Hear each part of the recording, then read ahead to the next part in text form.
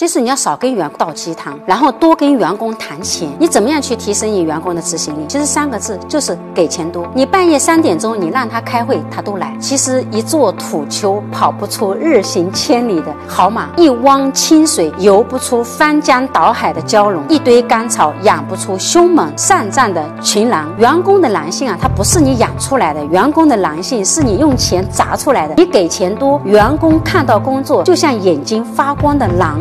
用任正非的话说，当你给钱到位的时候，不是狼，它也就变成了一只狼。你给钱少，员工做事情就像软绵绵的羊。尤其是在大城市北上广深的年轻人，你以为八零后、九零后为什么爱大城市？是为了高攀不起的房价吗？是为了虚无缥缈的爱情吗？还是为了奢侈的理想？这些都不是最重要的。没有学历、没有背景、没有爹妈支持的普通人，选择真的是太少了。只有搞钱才有安全感，所以。要当好老板，一定要有气度、有格局。这事儿你做，这锅我背。说是这句话的老板，谁能不放心的给你好好干？这钱给你，和我一起实现梦想。听到这句话的员工，谁会没有干劲？所以，什么样叫格局？格局首先的第一点就是。